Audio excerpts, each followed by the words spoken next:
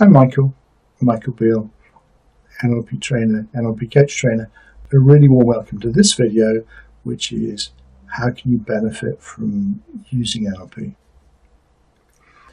I've been training clients for about 14 years, and over that time, they've got over challenges, they've addressed challenges, they've got promotions, they've started divisions, they've started their own companies, they've moved to this ideal sort of life of um, being time free, time rich, um, geography rich, um, and choosing what they want to do and creating the lives that are right for them. Um, sometimes I describe NLP as an amplifier. If you're good at something, it helps you get better. It also gives you some vocabulary to discuss, describe good performance.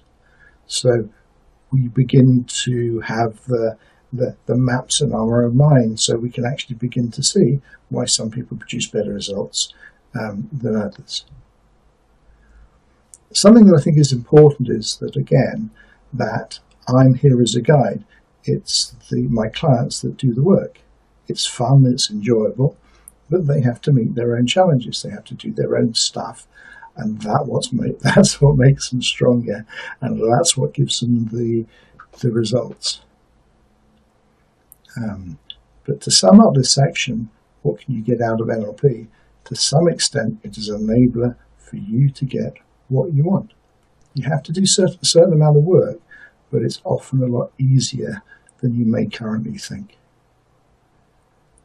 Thank you for listening. In the next segment, we're going to look at do you need a coach?